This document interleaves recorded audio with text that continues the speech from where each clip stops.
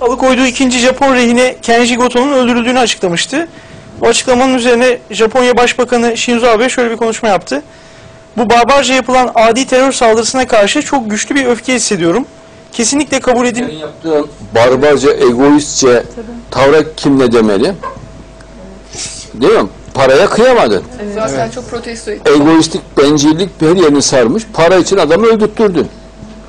Ha kiralık katil olmuşsun, ha bunu yapmışsın. E adama parasını versen kurtulacak adam. Sonra yine paranı alırsın. Ama adam alamıyorsun. Oturmuş barbarlık. Barbarlığın alasını sen yapıyorsun. Adamın vicdansızlığına bak ya. Kardeşim Müslümanlarla mücadele edilsin, Müslümanlar öldürülsün diye milyarlarca lira para veriyorsun. Adamlar için istenen fidyeyi ver, adamları bıraksınlar. Sonra da o paranı yine alırsın. Japonlar Adnan Bey aynı bu şekilde çok fazla protesto ettiler. Ee, Başbakanı normalde kurtarabilecek imkanı varken kurtarmamayı seçtiğini söylediler hep. Tabii ki canım bir de utanmadan ortaya çıkmış barbarlıktan falan bahsediyor. Barbarın alası sensin.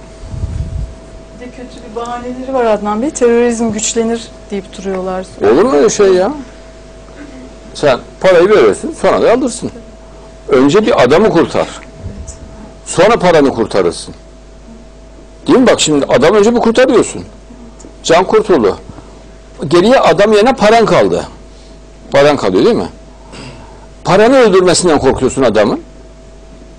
Öldürüyorsun öldürsün paranı. Ama kurtarabilirsin de paranı. Değil mi? Parayı kesemez ki adam. Doğrayamaz. Ama adamı kesip doğuruyor. Adamı kurtaracağına parayı kurtarmaya çalıştılar. Bak parayı kurtardılar, adamları öldürttüler. Sonra barbarlıktan bahsediyor. Ya sen bak parayı kurtardın be adam. Adamları öldürttün. Ve bunun sebebi de sensin.